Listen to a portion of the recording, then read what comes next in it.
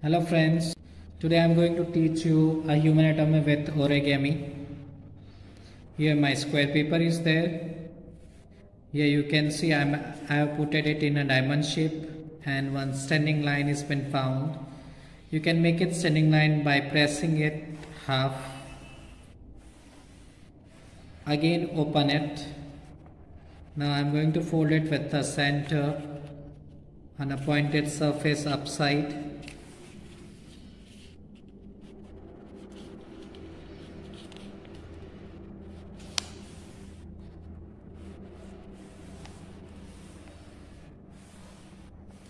again same on opposite side.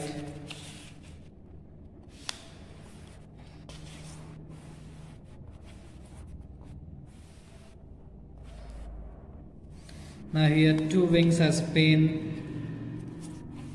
fold up till the center line. Now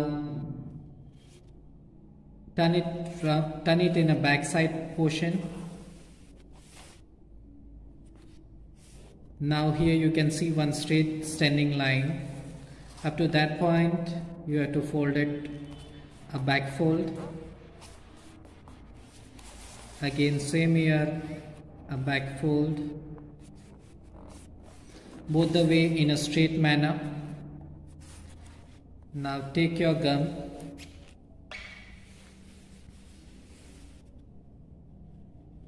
apply it on a corner Press it for a few minutes.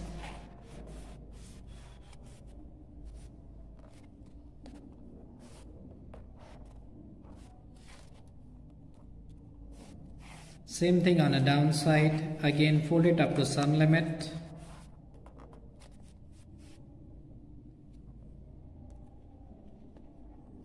Apply gum on it and press to stick it properly.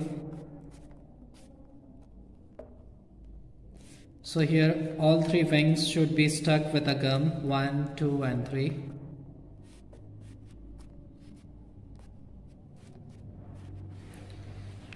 Turn it back side so you will get a smooth surface. Now it's time for marker. Yeah, I'm going to make it a few features, a face features as I told you I'm going to make it human anatomy. Here few circles, few curves.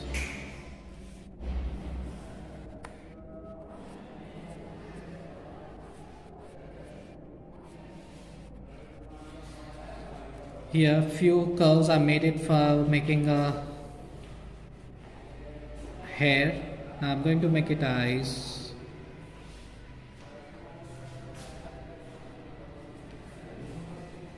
I'm going to make it a man for a mustache. One curve for the lips. Again I am going to fold it this portion for showing the collar.